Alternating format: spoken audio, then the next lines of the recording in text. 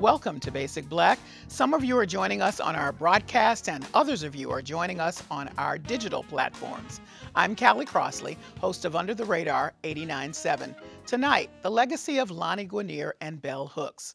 We, like you, are dealing with the effects of the coronavirus pandemic and are taking precautions. We are working with limited staff, and our guests are joining us remotely. We lost them too soon two black women powerhouses in law and literature who used their talents in the fight for justice for African Americans.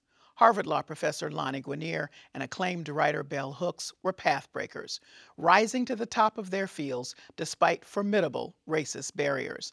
Now, Lani Guinier and Bell Hooks are among the ancestors, and we admirers of their outstanding intellectual and cultural contributions pay tribute. Joining us remotely, Margaret Burnham, Professor of Law and Africana Studies and founder and director of the Civil Rights and Restorative Justice Project at Northeastern University. Kim McLarin, Professor and Interim Dean of Graduate and Professional Studies at Emerson College. Marita Rivero, Principal of Rivero Partners. Ms. Rivero is also the former Director of the Museum of African American History and the former VP and GM for Radio and Television at GBH and Darren Duarte, Director of Communications and Outreach, Brockton Police Department, and a former host of Say Brother and Basic Black. Welcome to you all. So let me just do just the briefest um, bio of each of the women so that we can all be on the same page. Not you, but let's invite our audience in. Um, so Bell Hooks and Lani Guinier were multi hyphenate before we were using that term. They each had many things uh, going on. Bell Hooks um, was a scholar, an activist, an author, including a children's book author and a public intellectual. Time magazine called her a rock star public intellectual, though that was a term that Bell herself didn't feel exactly comfortable with, but there you have it. Lani Guinier was called a towering intellectual. She was also a scholar and activist. She is the first and only uh, black woman tenured at Harvard Law School. Um, she uh, is perhaps sadly best known for a controversy which ensued after President uh, Bill Clinton nominated her in 1998 uh, to be the Assistant Attorney General for the Civil Rights Department of the Justice Department. Um, and then withdrew it. And uh, we'll talk about that a little bit later. But those are just the briefest um, outlines of their careers and histories, their life, and their legacies. And I want to start this way because it shouldn't have been surprising, but it's interesting to note that every single one of you used the word courage when describing both of them. So let's start with Lani. Margaret, why courage when you talk about Lani Guinier? Well, Lani was, uh, first of all, courageous in her litigation uh, strategies uh, at the LDF. She started at the Legal Defense Fund. That was uh, really her first job after her clerkship. Uh, and she tried uh, uh, voting rights cases really all over the South uh, and and confronted, you know, deeply resistant systems of of uh, and was courageous in the in the litigation uh, solutions that she offered for them. Uh, she was really most proud of her work during that period of her career. She worked with uh, Deval Patrick in a lawsuit against Jeff Sessions in Alabama, and she worked with you know with communities. Uh, she was courageous in that she she she moved across the intellectual um, um, uh, uh, terrain. Uh, so she didn't just stick with voting rights. Um, she she tackled all of the deep and uh, and, and challenging uh, issues of the day. She tackled affirmative action, education, merit. When she went to law school, she tackled the way in which law schools train women lawyers. Um, so, so, so she, she, she was a you know deep, um, deep, deep thinker. We we all know that, uh, but also just not um, not not not constrained to any one area of the law and that I think was was courageous. And of course, we all know she picked herself up after the Bill Clinton uh, fiasco uh, and, uh, and, and, and, and, and, and went right back to work. Uh, and as a matter of fact, produced some of her best work. Uh, that was perhaps the best thing that could ever happen to her uh, was to be rejected by Bill Clinton and, and then um, return to her work. Uh, just to put a little bit more uh, detail around that, so she was nominated in 1998 by former President Bill Clinton for this role. As I said, the Assistant Attorney General. Uh, conservatives attacked her uh, viciously, and he then withdrew the nomination and sort of left her hanging. And uh, it was a national, it was a huge story, went on and on and on. Um, a lesser person would have been devastated, but as Margaret said, um, she went on um, and did quite well. So, courage, again, why did you use that word, Marita, when you talked about Lani Guinier? I thought about, I actually thought about both of them, you know, confronting these kind of myriad uh, practices that came together to really maintain systems of, of oppression. Um, uh, and then she was caught, I thought, in this very public way we've just talked about. So no one was used to seeing African American women, period, uh, in, as much of anything, really. So the coverage of that whole issue with Clinton um, was, you know, drove through media on stereotypes. And then they quoted one another using stereotypes without actually going back to her original work. Um, so she was she was honest and direct in really pushing forward her work, but she certainly didn't expect to be held up in this kind of way publicly, uh, excoriated for things she didn't say. We, we could go into later if you wish, um, and then move forward. And I thought that was an example uh, that we all really need, but it was important, I feel, to many, many women who followed her, who stood there and saw her absorb that recommit herself to her principles, to the work she was doing, and to continue. Um, I'm switching to Bell Hooks now, starting with you, Kim, because she, you said, is uh, quite frankly a hero of yours or was a hero of yours. Why courage when you talk about Bell Hooks? Well, I think, and similarly, um, I think Bell Hooks was courageous in that at base she was a writer, she was an artist, and she challenged um, she was able to stand up and challenge not only what might, you know, she challenged patriarchy, she challenged capitalism, she challenged imperialism. But the writer's job is to challenge um, all of us individually so that we could you know become what more human right? Baldwin said the writer's job is to make us more human. And so she was not afraid to turn that challenge inward. She turned it toward and by, by that i mean towards us as black people right? As a black community. And that take courage right? She had a critique for capitalism imperialism and patriarchy and masculinity all deservedly so. She had a critique of beyonce. You know that takes courage to, to critique beyonce mm-hmm. right? And because in the service of of her love for black people for black girls in this particular case right so she that was extremely courageous to turn that same critical eye not only outward but inward in the service of the loving service of making us all calling us all to our higher our higher selves and that's the ultimate job of the artist and that's what she was mm. Uh, Darren Duarte, you got a chance to interview uh, Bell Hooks, um, and you too use the word courage. Yeah, she was courageous in so many ways, Callie, and you know, she took on so many topics uh, for the time. She took on white supremacy. She talked about feminism, and she talked with me a lot about love.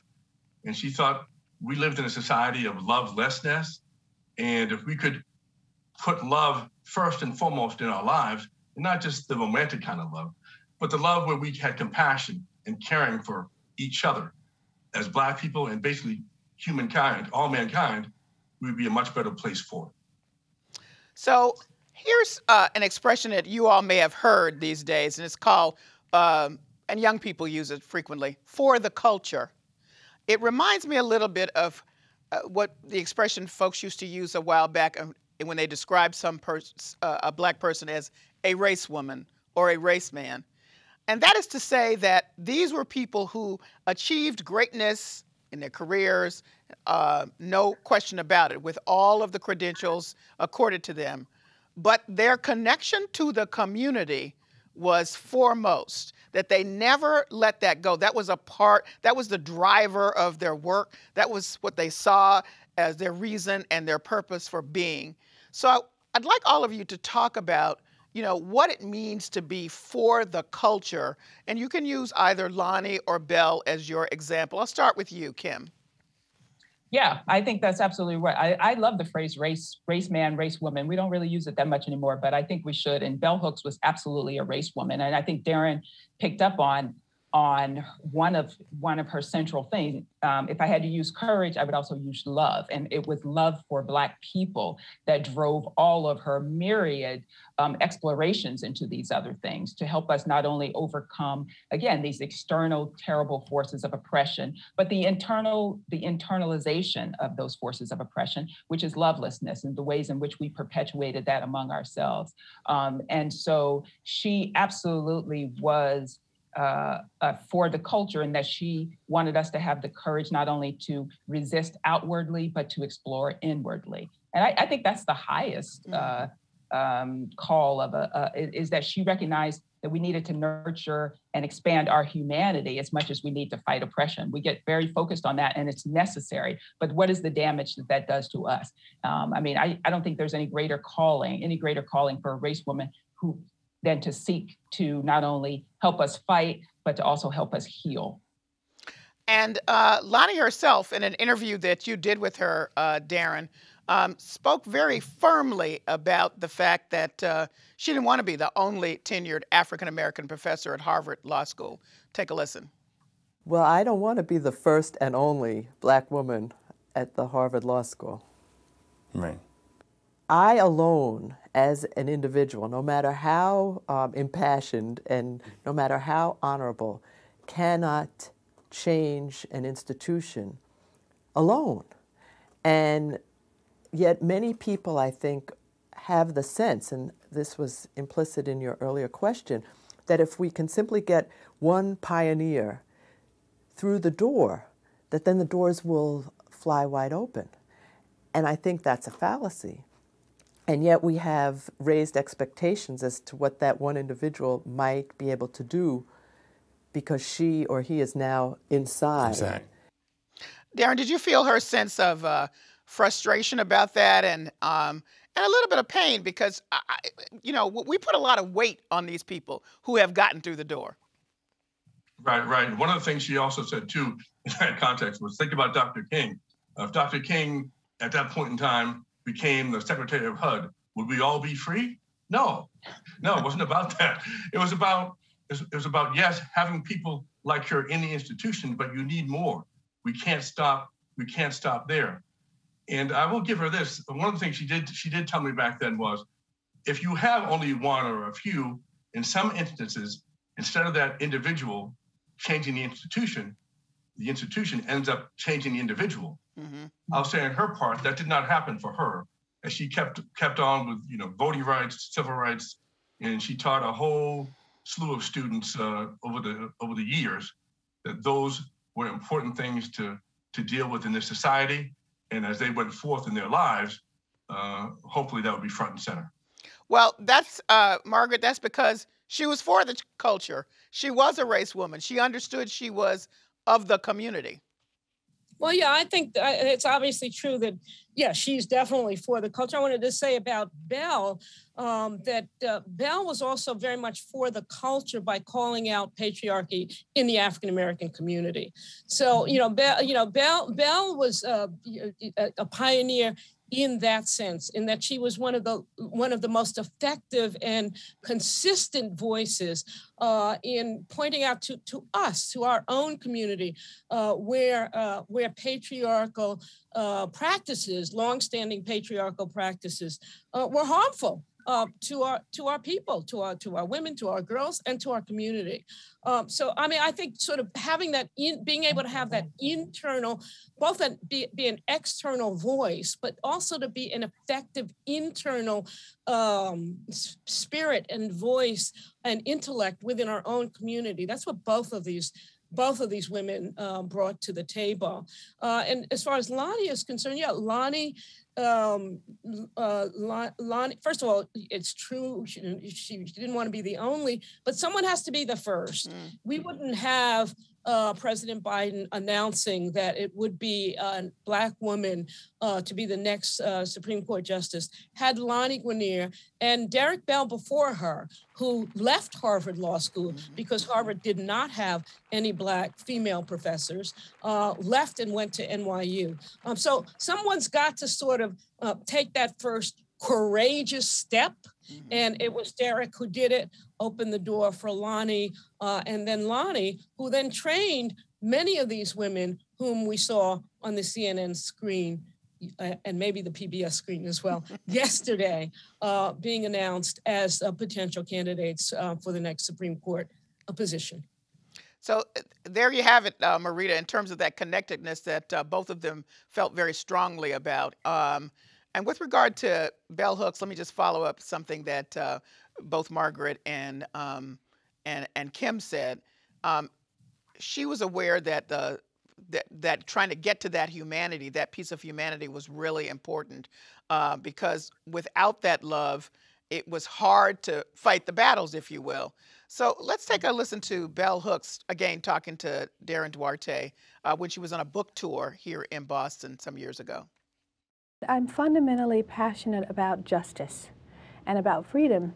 And when you are passionate about those basic ethical issues of justice and freedom, it, it sort of moves over. I, I, think of myself as almost being like a tree, you know, where the branches keep expanding, but the, the root of the tree stays the same. She's the root of the tree, Marita.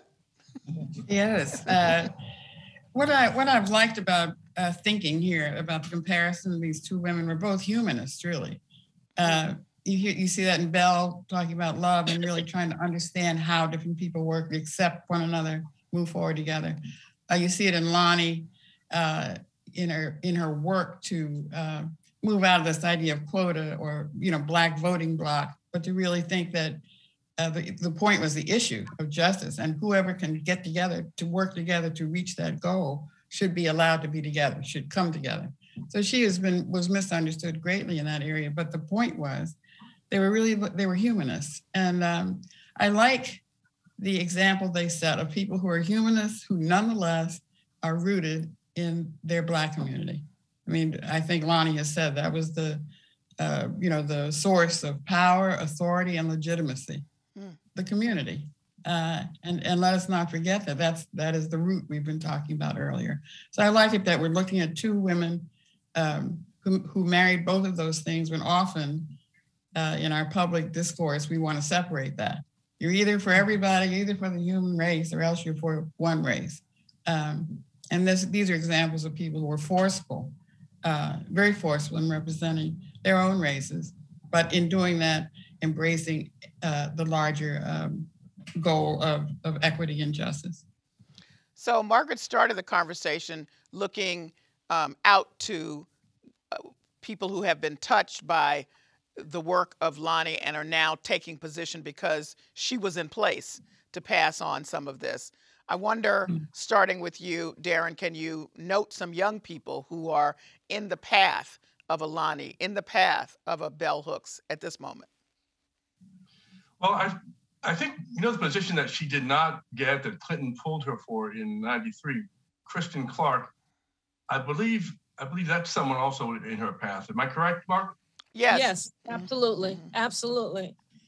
Right. Absolutely. So, so here, so 28 years, some 28 years later, that was 1993. Um, yeah. A student of hers, a student of hers, is in a position that, at one point, she told me that was her worst nightmare when Clinton pulled that nomination but here she nurtured a student who is now that person. I mean, that's pretty that's pretty heavy right there when you think about it. That is true.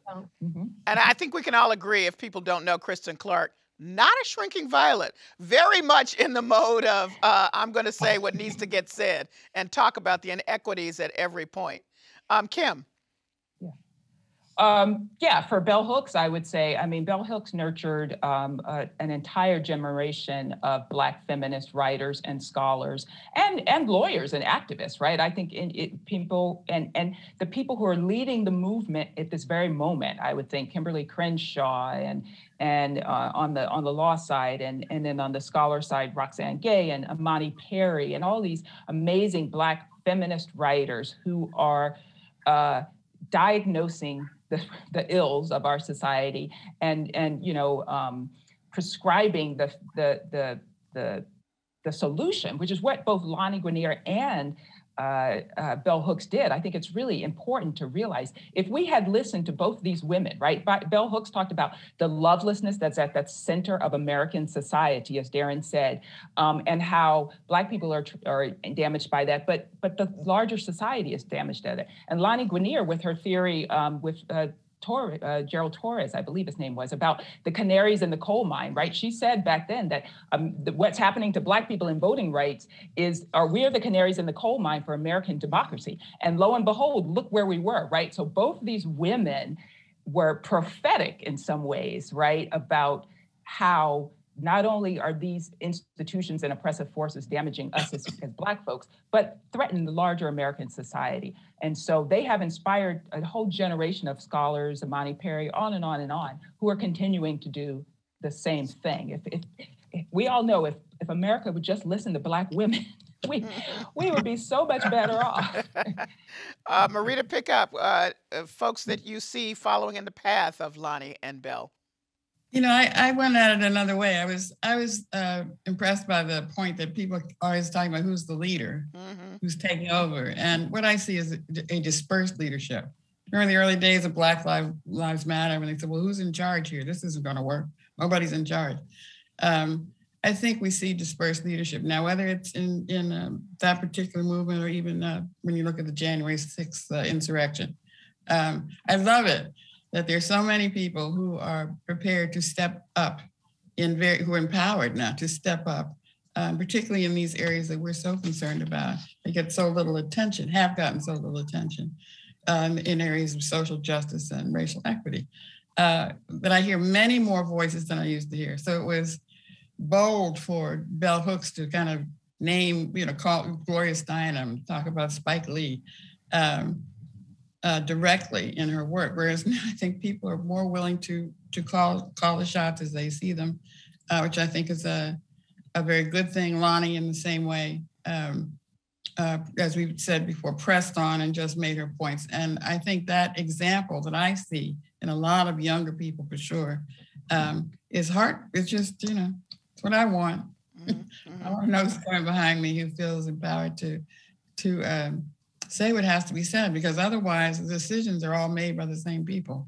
That, that's that's what they left behind for me to see. Mm-hmm.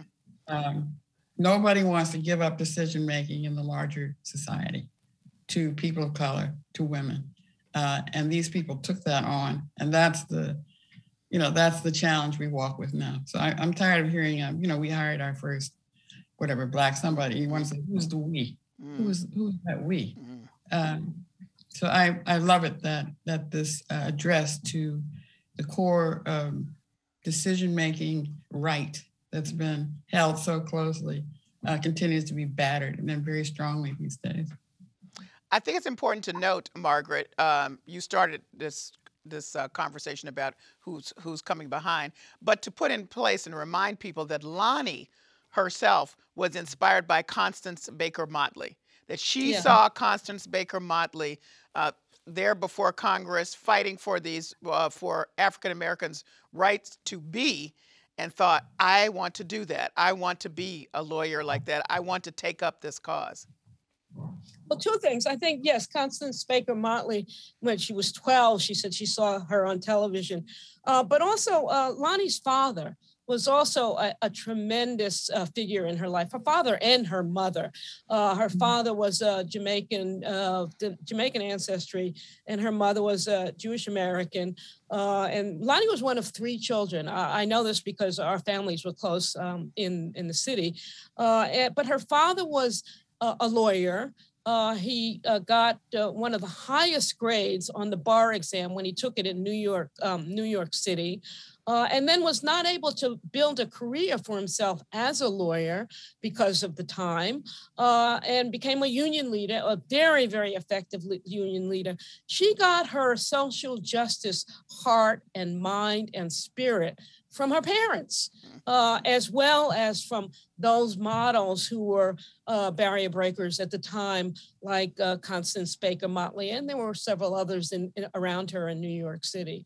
But you know, this this is a family that uh, came from you know they I, I visited their home in Queens. This, this, this, these are humble people. Uh, Lani, I mean, well educated. You know, um, uh, certainly you know, part of the world, but also this is not a rich family, the, the, the Guinier family. Uh, Lani went to public schools. Uh, and then, of course, she went to the Ivies and she put all of that um, to great use to the benefit of our community.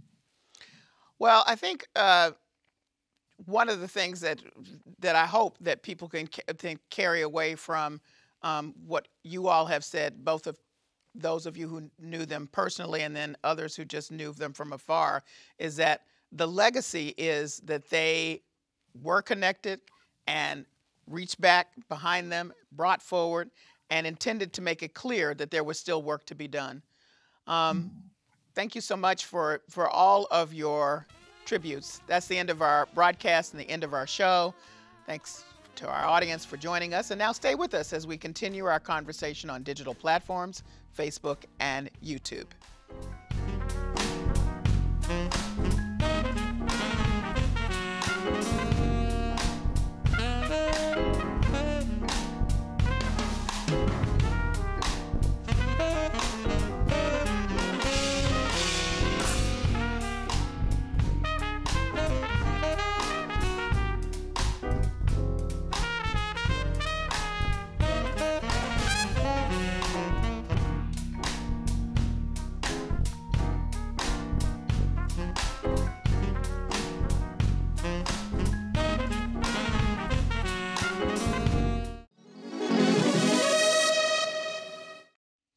Callie Crossley, host of Under the Radar 89.7. We're on Facebook and YouTube with our post show, continuing our discussion on the legacy of Lani Guinier and Bell Hooks. Um, uh, Margaret, you started on a path that I want to pick up on now, which is what were the internal and external forces that they uh, were able to tap into? I guess resources is a better word. They were able to tap into to withstand the kind of uh, pressures nasty, vicious. I, we were we haven't been as explicit about the level of criticism that were aimed at these two. It was not uh, simple at all, and this is for a long time without social media. It was pretty intense. So, what mm. was? Where do you think they got that internal fortitude, Margaret? Well, you, I, go ahead. I, so, so clearly, I think they got that from knowing who they were, where they came from, right? uh, I know this is true for Alani. Uh, so you, you, you, you know, a part of the uh, part of the uh, onslaught on Lani, they called her quota queen, uh, and they, you know, bad ideas, uh, crazy ideas, and crazy hair.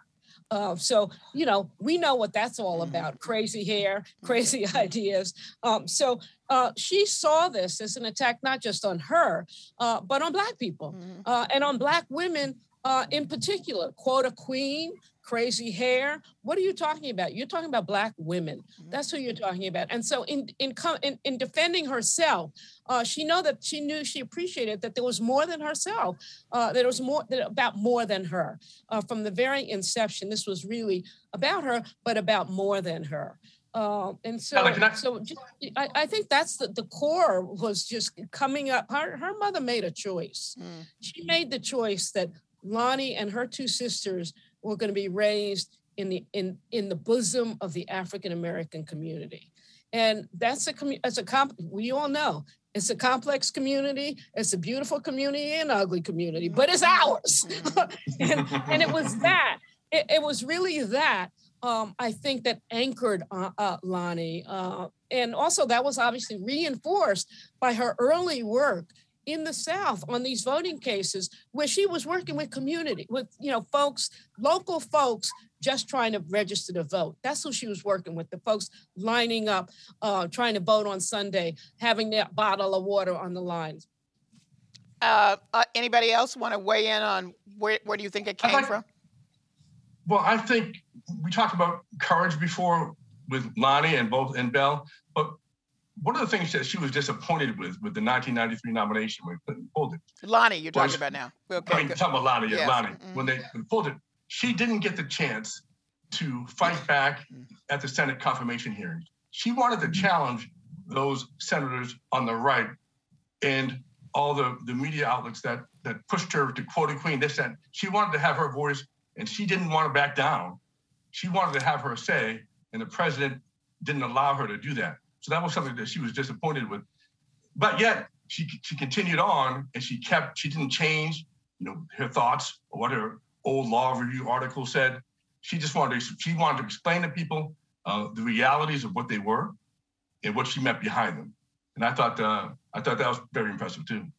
I thought it was interesting that she that she herself said that um, afterwards a lot of people would come up to her if they recognize her uh, out in public places and say, "I don't necessarily think I agree with you, but I think it was totally unfair that you did not get an opportunity to be heard and that you should have been heard." And I wanted to hear what you had to say um, in mm-hmm. defense. Mm-hmm. So I'll just put that out there. Um, Kim. Yeah. Well, I was thinking about Bell Hooks. I agree with everything about Lani, but you're about Bell Hooks. I think she, you know, she wrote often very, very openly about um, challenging from a very early age, even her parents, right? Margaret was talking earlier about her challenge to patriarchy, right? And that grew out of her her own father's. You know, she said her parents cared for her, but they too were caught in the grip of of of, of supporting and endorsing and reinforcing patriarchal thinking. Um, and somehow she knew, even at an early age, as her father was beating her for acting like a, you know, acting like a boy, mm-hmm. that that was wrong. So, uh, you know, I, I think I think her her some of her drive came from this kind of innate knowledge. I, I again, I go back to her being a writer and artist. I think that's you know that where we're driven, writers and dr- artists are born step standing outside the systems, even your family, and going, really? Is this the way it's supposed to be? Right? And having and having the courage to question that. And and the seeking. And the other thing i want to say about her that margaret talked about is her challenge to patriarchal thinking was absolutely that it, it wounded black women and black girls. But what made her courageous is that she also said it wounds black boys and black men. Mm-hmm. Right? She wrote a whole mm-hmm. book about how that thinking damages black and that was courageous because a lot of feminists were like why are you concerned about mm-hmm. you know men? Right? Mm-hmm. she's like but they're they're wounded by this too and we have to reclaim them. We can't we can't make them the enemy. Our black men and our black boys are are need to be as healed as our black girls and our women. She was she was fearless. I would actually say beyond courageous almost fearless um, and, and expose and also exposing her own vulnerability and her own deep, deep desire to be loved, which I, I think is incredibly courageous. And uh, appearing to be able to come back against some criticism that was. I have to use the word vicious. I mean, yeah. there's criticism and there's criticism. You know, you're used to it if you're in academia, as she was. But some of the stuff that went at her, that came at her, was was crazy um, in yeah. its intensity. Yeah. So um, that yeah, I think she. And I just want to point I, I out. That, say, go ahead. Mm. Go ahead. No, you go. No, I was just going to say. I think she she knew that uh, you know what, what they call a hit dog will holler. Yes. Right. So. Uh, and and I wanted to add that um, she wrote a children's book really about young black boys so that she could put out into the world what she what what is the real story about uh, young black boys. As as she said, I, she never saw one reading a book, um, and to try to you know um, deal with some of the stereotypes that were out there and some of the some of that hurt that had been directed at them. Marita. Yeah, Callie. Callie one of the things. I'm, so, oh, I'm so struck by. Um, excuse me, Darren. Uh, I'm, I'm so struck by the um, uh, the, the tender and soft sides of both of these women. Mm. You know, we've talked about how fierce they are. We've talked about their writing. We've talked about their courage in the face of uh, really terrible onslaught um, and their commitment to, to their work. Uh, commitment to community. Part of commitment community was just that they were just real people. you know, that they didn't live, they weren't in a condo and, you know, they don't know where they weren't living in some off place. They were part of the community. They were, you know, Lani loved telling stories about Nico, her son. Um, she wanted to know where, where'd you go to get your hair cut, Marita? You know, where did you, you know, how can I get get my nails done with her friend? Um, uh, I think when you see Bell talking, you're sort of surprised by how soft she is, how how gentle mm. she she appears when in her books she she seems to be some other woman. As Lani, you see her ability to kind of laugh. You know, to just absorb the fact that this is ridiculous. Mm-hmm. Um, but you have to have some kind of sense of humor uh, to do that. So I agree that the roots came out of all the things we've said, but they produced women who were who were prepared to be uh, full dimensional, fully dimensional people. Uh, and I like that about them because it kept them in touch with all the things that we all uh, deal with all the time. Darren, you want to add something? No, I was wanted to jump on something you said when you talked about Bell writing the, the children's book and so forth. One of the things she did tell me was that a lot of her work came from things that she experienced or that she saw that were lacking in our society, like the children's books for, for Black boys. You know, there weren't enough of them, or the kind that she thought maybe they should have. So she goes out and does it herself. Those kinds of things. I just was going to mention that. Is there one thing that uh, about either or both women um, you all would like for uh, people to think about as they just um, embrace the legacies of both of these very fierce and impressive women? Um, what would you say uh, for somebody now actually just coming to know them after they have died, um, and yet you want to give them the essence of who they were from your perspective. So I'll start with you, Margaret. I would say for for both of them, uh, rendering uh, what uh, we rendering the unseen seeable, mm. showing us things that we take for granted for what they really are. And I would say for for Bell, it was, again, the lives we lead in our gender roles um, that can be oppressive, but you don't see it unless someone shows it to you. Mm. And Bell did that. Mm. And for Lani, I was what you know what what she showed us was how democ- how broken democracy will continue to be unless we figure out new ways of allowing uh, vo- so-called minority voices to be heard. Mm. Um, I mean, that was her large contribution. Was just you know, look, th- this is submerged. It will always be submerged. And these voices will always be submerged in the politic unless we see something different. Mm. So I would say that would be my that would be the what their contribution is uh, is allowing us to visualize uh, to see the water we're swimming in. Wow. Mm. Um, Kim. Well, that's hard to follow because I agree 100%. Um, I think that's absolutely right. Um, and, uh, you know, I, I, think another link, that, especially with Lani Guinier, is this call to, and, and Bell Hooks too, this call to, to individual citizenship and civic responsibility. Mm. Um, for, you know, it could, would have been easy for both of them, especially Lani Guinier after that, you know, after she was thrown under the bus by Bill Clinton, let's call it what it was. Um, to, to retreat and to have a very cushy life, but she she did persist in in um, pursuing a larger responsibility. And Bell Hooks, a public intellectual, but it was public because she felt that she had an obligation. And for Bell Hooks in particular, I would say her legacy to me most pressively is the is her willingness to treat the con- the subject of love seriously and as a as a philosophical a philosophical statement and as undergirding everything else she did, including teaching. We haven't talked about her great book, Teaching to Transgress, which I think is really important for transforming higher education. But even under even the, the under the foundation of that was love, not in a soft, silly American romantic sense, but in a really powerful, um, tough, and as Baldwin said, tough, brave, hard sense. Um, and as Darren said at the beginning, if if we could just do if if if we could do that if we could approach that um, it would transform society and i think that's what for me her her most potent uh, legacy will remain. Her her treating of love is a very serious inquiry, um, and when necessary for everything else we do. Well, just to pick up on your piece about, uh, she talked about uh, teaching to tra- transgress, meaning that in the classroom, she wanted uh, uh, educators to see that as a space of liberation. So Yep. that's been passed on um, to now many, many, many students. Um, so we expect to see that somewhere else. That is her legacy then, because um, to your point, and to all of your points, it was never about just what she could do or what could, she could bring in one classroom. She was looking beyond that.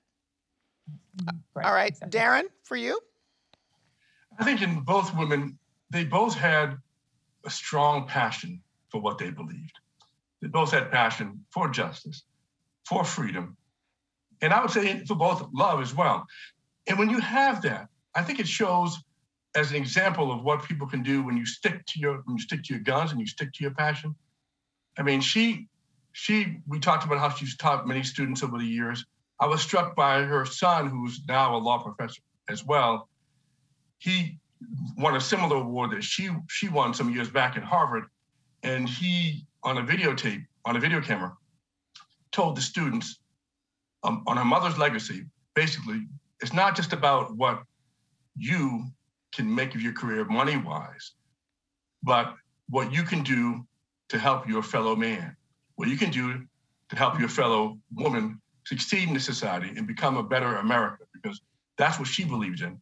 And that's what he thought the students could best do to fulfill her legacy at, uh, at Harvard and, and elsewhere around the country.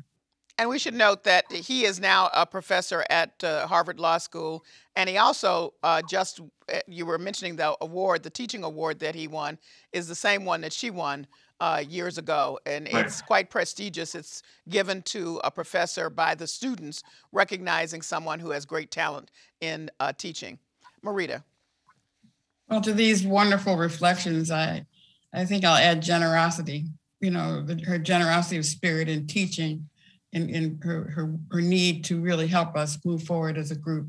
Um, and I think they're both kind of idiosyncratic women. They were they had Wow. very distinct selves, Mm. uh, and it just says to all of us, whoever we are, we can go back into that core self. We can believe in that experience we've had, uh, and we can contribute from that space. So that's short, short, sweet. Well, I thank you all for your insight and for these um, wonderful tributes to two fantastic, wonderful women who uh, have left us, as we say, too soon. Thank you so much.